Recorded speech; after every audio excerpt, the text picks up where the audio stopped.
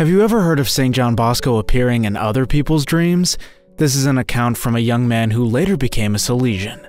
When I was about 10 years old, I had been worried and concerned for my future for several days in a row. While sleeping, I saw a priest standing at the gate of a magnificent garden. I approached the gate. The priest took me by the arm and invited me to enter, saying, Here you will spend the rest of your life. That dream made such an impression on me that for quite some time after that, I lived recollected, devout, and went to church frequently. Several years passed, and that scene was still vivid in my mind.